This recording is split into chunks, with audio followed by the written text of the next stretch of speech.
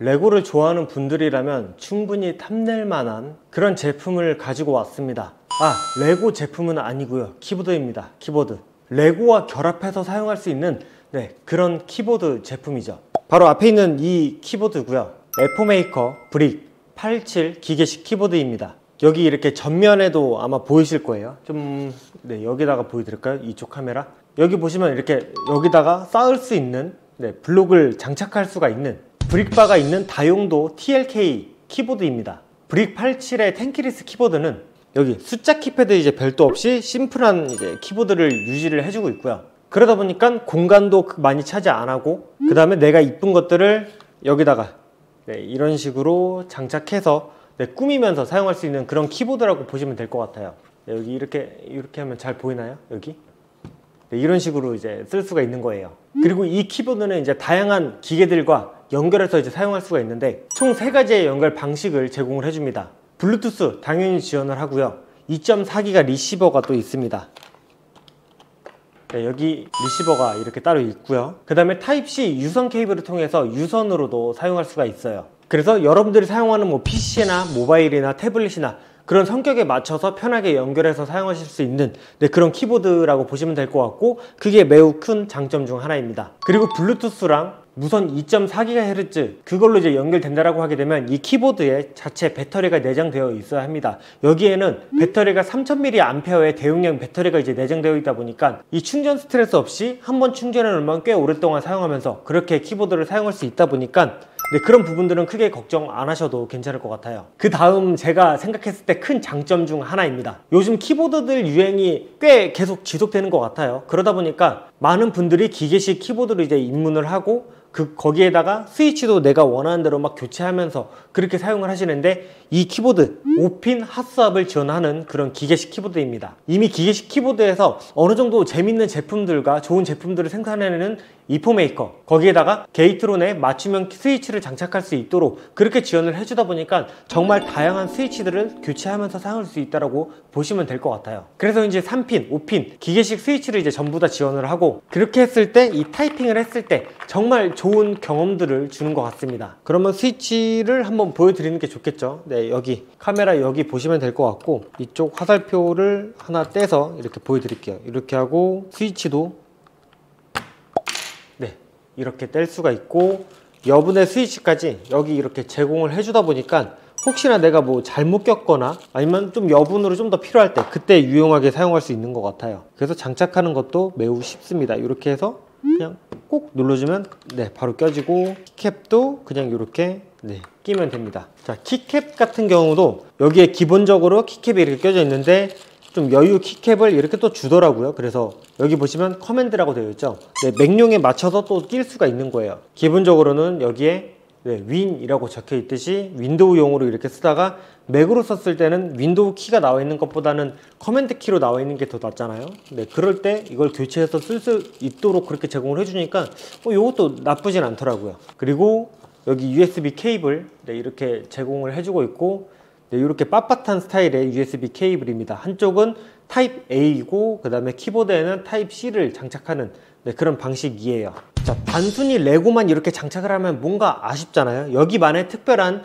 포인트가 있습니다. 이렇게 키보드를 치다가 여기 보시면 여기에 이렇게 휠이 있어요. 휠이 양쪽으로 이렇게 있어 가지고 휠을 이렇게 이렇게 움직일 수가 있습니다. 그래서 왼쪽 스크롤은 볼륨을 제어할 수 있고 오른쪽 스크롤은 backlight를 제어를 합니다. 그래서 이런 기능을 이제 갖춘 EPOMAKER Brick 87 같은 경우는 그냥 단순히 뭐 레고만 이렇게 장착을 하고 뭐 기본적인 기계식 키보드 기능만 제공하는 게 아니라 이런 포인트들까지 더 있다 보니까 이 키보드가 정말 탐나는 제품 중 하나가 될 것 같더라고요. 아까 전에 백라이트 지원한다고 했잖아요. 그래서 이렇게 올리면 backlight가 이렇게 나오고 이걸 내리면 이렇게 꺼지고 네, 이런 식으로 사용을 할 수가 있습니다. 이 백라이트 컬러 같은 경우는 1600만 가지의 색상을 표현할 수가 있도록 그렇게 지원을 해주고 있고 이렇게 function을 누른 상태에서 여기 역슬래시 요거를 누르게 되면 RGB의 효과를 이제 변경할 수가 있습니다. 그리고 function을 누르고 P를 누르게 되면 이 RGB의 컬러를 이제 바꿀 수가 있고요. 그 다음에 function을 누른 상태에서 backlight backlight를 누르게 되면 이 backlight를 켰다가 껐다가 네, 그런 식으로 제어를 할 수가 있어요. 한 번만 외워두면 이제 사용하기가 되게 쉽죠? 아까 전에 keycap 보셨잖아요. Windows랑 Mac 지원을 하도록. 이 Brick 87 키보드는 특히나 이제 Windows랑 Mac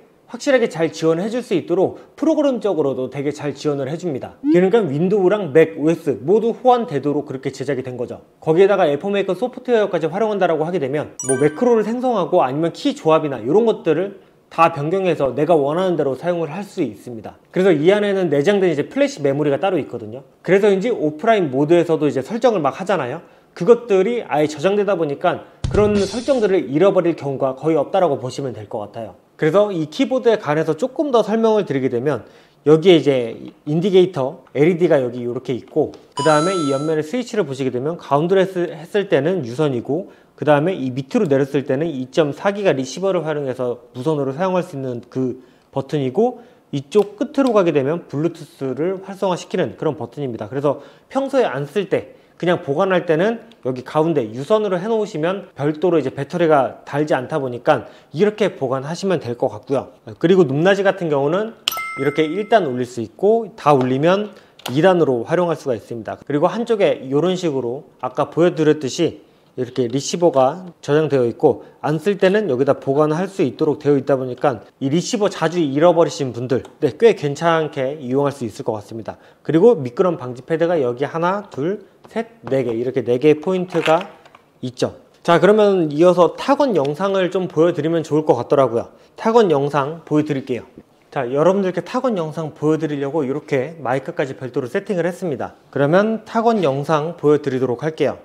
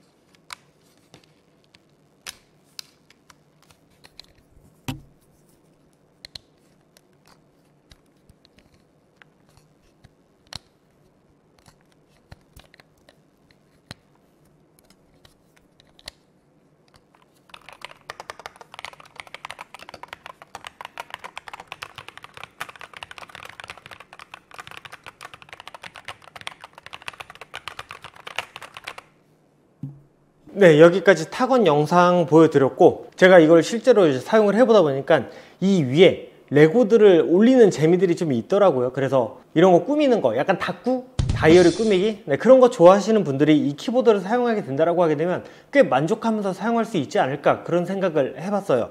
이거 키보드도 이제 색상들이 몇 개 있는데 그 중에 이제 보면 이게 핑크 느낌이 살짝 있잖아요. 그러다 보니까 정말 꾸미기에 최적화된 그런 기계식 키보드이지 않을까라는 생각이 좀 들었어요. 막 레고도 꾸미고 그 다음에 스위치도 핫섭을 지원하다 보니까 내가 원하는 이제 스위치들을 구입을 해가지고 여기다 껴서 사용할 수가 있는 거예요. 그 다음에 키캡 자체도 이렇게 좀 자세히 보여드릴게요.